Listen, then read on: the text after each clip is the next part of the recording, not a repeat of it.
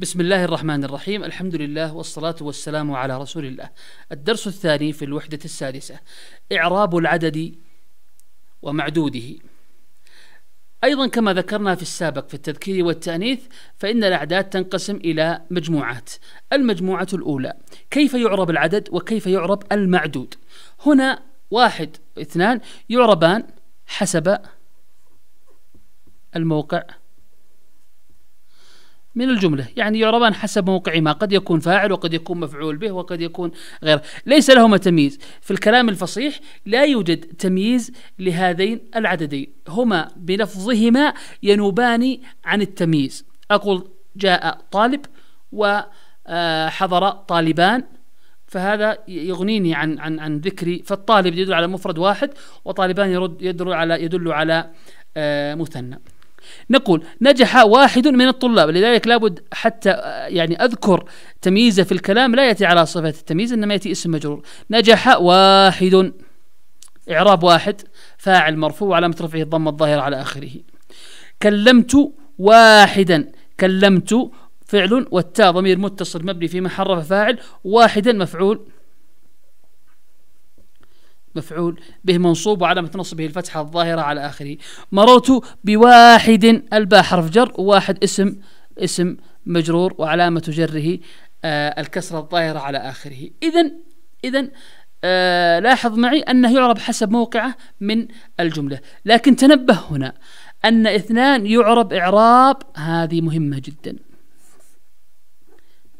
لأنه كما درسنا في باب المثنى هو ملحق بالمثنى. أقول تكلم اثنان إعراب اثنان هنا نقول فاعل مرفوع وعلامة رفعه الألف. لماذا الألف؟ نقول لأنه ملحق بالمثنى. استمعت إلى اثنين هذه حرف جر واثنين إعرابه اسم مجرور بإلى وعلامة جره ماذا؟ الياء. لماذا الياء؟ لأنه ملحق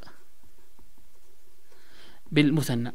إذا لاحظ معي أن الأعداد هذه واحد واثنين تعربان حسب موقعها من الجملة. إما أن تعرب بعلامة أصلية أو اثنين تعرب بعلامة فرعية لأنها تعد ملحقة بالمثنى.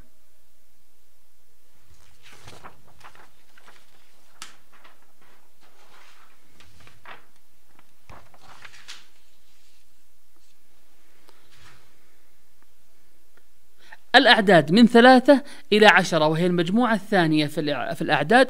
يقولون تعرب أيضا حسب الموقع من الجملة. قد تكون فاعل قد تكون خبر قد تكون مبتدأ وغير ذلك. تمييزها اللي هو العدد اللي هو المعدود.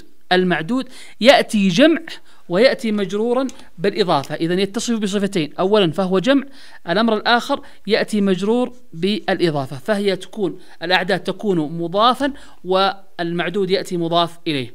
أقول على سبيل المثال هذه ثلاثة أقلام. ما إعراب ثلاثة؟ نقول إعراب ثلاثة خبر مرفوع علامة رفعه.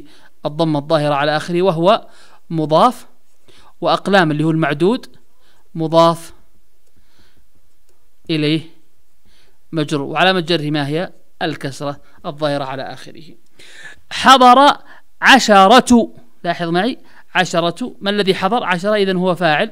هنا فاعل مرفوع على فيه الضم الظاهر على آخره. وهو مضاف. ولاعبين مضاف إليه مجرور. ما علامة جره هنا؟ علامة جره الياء. لماذا الياء؟ لأنه جمع لأنه جمع مذكر. سالم. لا ننسى هذه الموضوعات فهي مترابطة. اشتريت أربع حقائب. هنا حقائب لأنها ممنوعة من الصرف فهي تجر هي مضافة مجرورة لكنها تجر بالفتح نيابة عن الكسرة. أربعة هنا إشعارا مفعول به منصوب. اشتريت اشترى والتاء فاعل وأربع مفعول به منصوب.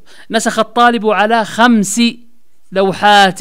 هذا مضاف إليه مضاف إليه وهذا اسم مجرور بعلى وعلامة جره الكسرة. إذا من واحد من ثلاثة إلى عشر تعرب حسب موقعها من الجملة. أما من 11 إلى من من أحد عشر إلى تسعة عشر من أحد عشر إلى تسعة عشر فهي مبنية على يعني ليست معربة على فتح الجزئين. هذه مريحة لنا في الإعراب لأنها دائما تأتي سواء في موضع الرفع أو النصب أو الجر تأتي مبنية على الفتح. طيب المعدود كيف يأتي المعدود؟ نقول معدودها له شكل وهو أنه يأتي تمييز مفرد منصوب. أنه يأتي منصوب مفرد ومنصوب. يأتي مفرد ومنصوب ويعرب تمييز. يقول الله تعالى إني رأيت أحد عشر. مبني على فتح آه الجزئين. آه هنا مفعول به آه مبني على فتح الجزئين. أيضا بخمسة عشر معا في حرف جر لكن جاء هنا مبني على فتح الجزئين. مبني على فتح الجزئين.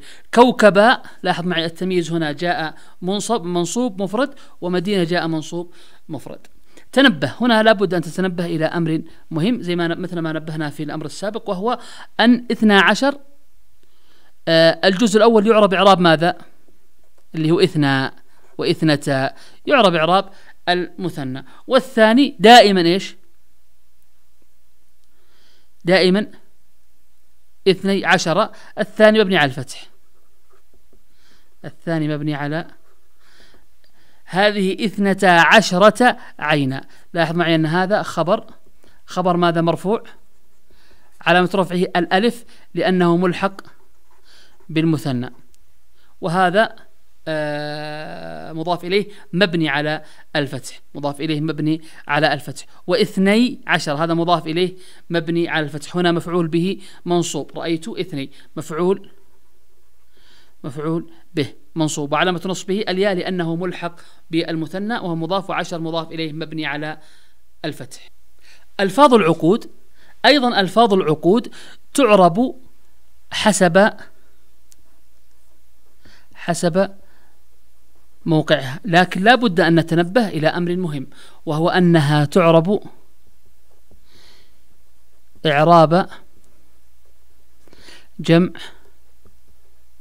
المذكر السالم فهي ملحقة به. هذا كلام مهم في ألفاظ العقود. تعرب حسب موقعها من الجملة لكنها تكون تعرب بعلامة إعراب فرعية لأنها ملحقة بجمع المذكر آه، السالم. فترفع بالواو وتنصب وتجر بالياء. معدودها مفرد منصوب. معدودها مفرد آه، منصوب مفرد وهو تمييز. يعرب تمييز مفرد منصوب. جاءت تسعون سيارة. إيش إعراب تسعون هنا؟ ما الذي جاء تسعون؟ إذا فاعل مرفوع وعلامة رفعه الواو لأنه جمع مذكر سالم وسيارة تمييز منصوب. رأيت ثلاثين رأيت ثلاثين رأيت فعل وفاعل وثلاثين مفعول به مفعول به منصوب وعلامة نصبه الياء. الياء لماذا؟ لأنه جمع مذكر سالم وطائرا آه تمييز منصوب. مررت بأربعين الباء حرف جر وأربعين اسم مجرور بالباء وعلامة جره الياء لأنه ملحق بجمع المذكر السالم وشجرة تمييز منصوب. أما مئة وألف فتعربان أيضا حسب موقعهما من الجملة ومضاعفاتهما طبعا تعرب حسب موقعهما من الجملة والمعدود آه، يأتي مفرد مجرور مجرور طبعا بالإضافة. مجرور بالإضافة. لاحظ معي مر مئة رجل. مئة هنا فاعل.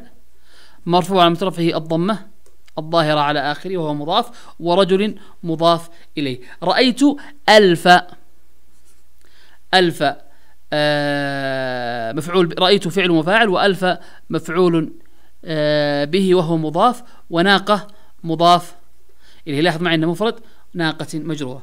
سبحت أكثر من ألف تسبيحة. لاحظ معي من هنا حرف جر وألف جاء مجرور مجرور بمن وعلامة جره الكسر الظاهر على آخره وهو مضاف وتسبيحة مضاف إليه.